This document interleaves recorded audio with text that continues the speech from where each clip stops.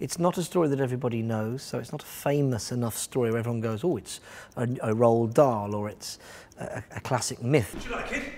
Round and round in a boring circle. But it basically follows the journey of a wind-up mouse and his child. I'm playing Mouse, who is attached to the child. Um, they are a clockwork toy.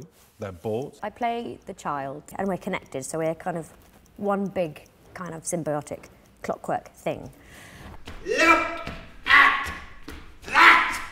Who are put into a toy shop and then are bought for Christmas. They get discarded by some children who don't think they're a very interesting toy because they're a bit old-fashioned. They break us and we get uh, thrown away onto a rub- rubbish dump. And they go on this phenomenal Disney-like journey of epic proportions.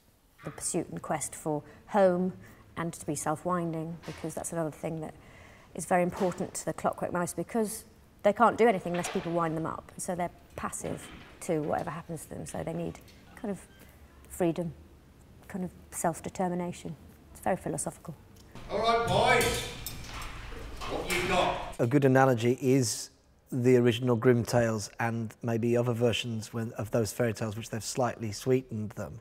You go back to the original Grimm tales and they're brutal. The witch in Snow White is made to dance in molten slippers at the end of that story. And there is a level of that level of brutality in the world of this. It's not all that, and you want to make the audience laugh, but like in a, a, great story, you want all those different emotions to be in there. It's just got everything you want. You've got danger, you've got a love story, you've got baddies and goodies, and you've got in the middle of it, you've got this this wonderful, beautiful toy who's just just trying to find his way home.